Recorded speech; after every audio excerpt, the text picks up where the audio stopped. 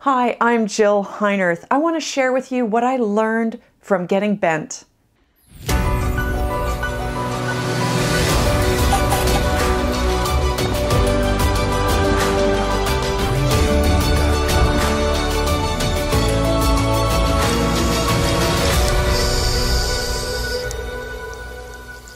Hi, I'm Jill Heinerth, tech diver, instructor, and underwater explorer, here again.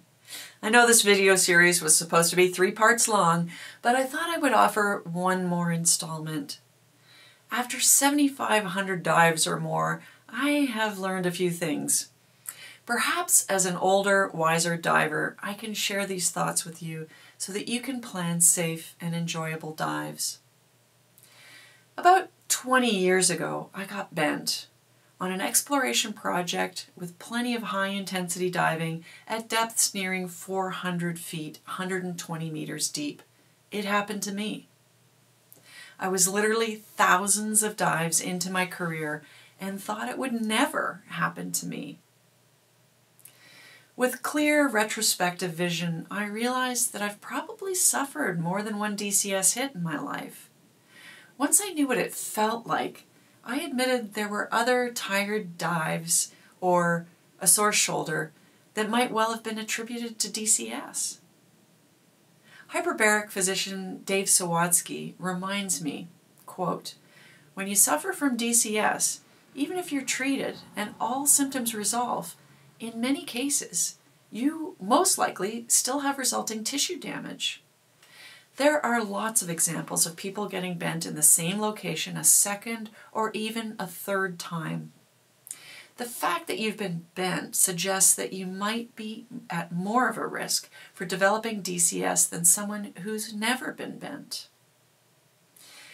Armed with that advice from Dave, and with the benefit of having participated in DAN decompression research over the years, I have made a few minor changes to my diving practices. I spend a little bit of extra time on my last stop, and I continue to move my body throughout DECO to ensure my blood is circulating and that off-gassing is optimized. If I was active during the on-gassing phase of my dive, then I remain mobile during the deco. I also ensure that my thermal condition stays as balanced as possible if I was warm on the dive, then I better not get cold on deco or I'll be risking a slower off-gassing phase. These changes are based on logic and a desire to never have to experience a mandatory chamber ride again. Overall, staying a bit longer underwater has given me a chance to see manta rays, a swarming school of squid as the sun dropped below the horizon, these are memorable experiences that I would not have missed for the world. There is no mathematical algorithm in the world that will ever guarantee your safety.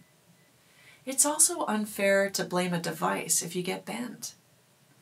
I have a pretty good idea that my personal choices on that project tipped me over the edge, resulting in DCS. For me, it was the second day of extremely deep diving with no support and a high physical workload. I have completed other dives, one over 22 hours long, and been fine. I have friends who have been bent on simple recreational dives for no apparent reason. DCS is a sports injury. It can be minor, as in a small rash, or major, as in paralysis.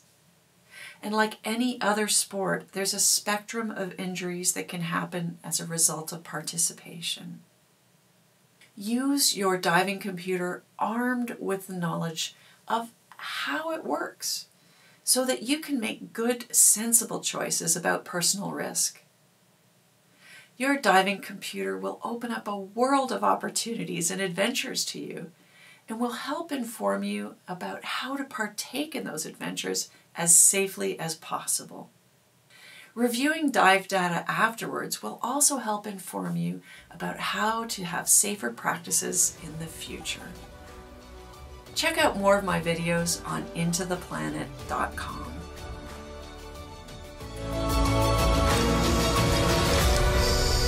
I'd like to thank Suunto for supporting this educational video series.